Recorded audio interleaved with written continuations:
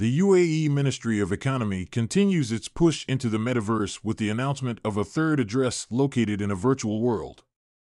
The United Arab Emirates, UAE, Ministry of Economy has announced a new headquarters located where anyone in the world can visit the metaverse.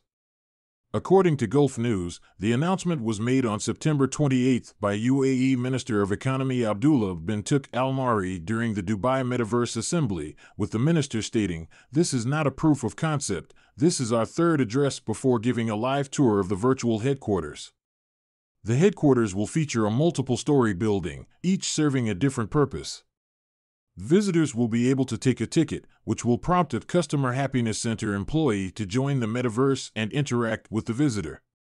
The new headquarters will complement the ministry's two existing offices in Abu Dhabi and Dubai, allowing the ministry to make digital services a bigger part of its operations following directives to do so from UAE leadership.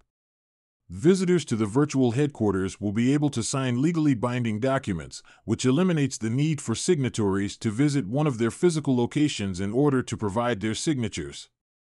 The headquarters also contains an auditorium that can facilitate virtual conferences and other events and meeting rooms that allow users to share a screen. The announcement follows Dubai's government's metaverse strategy revealed on July 18, which aims to create virtual 40,000 jobs by 2030 and support the government's vision of increasing the number of blockchain companies to five times the current number.